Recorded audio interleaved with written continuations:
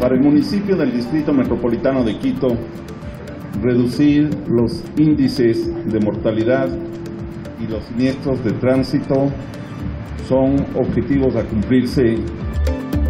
La seguridad vial es el objetivo principal, es el objetivo número uno. Solo poniéndonos en los zapatos de quienes han perdido a un familiar, a un ser querido, podemos entender que realmente esto amerita una lucha mancomunada entre sociedad civil, autoridades y por supuesto de quienes están en el día a día trabajando en el viario. Los proyectos de infraestructura son necesarios, pero nunca suficientes.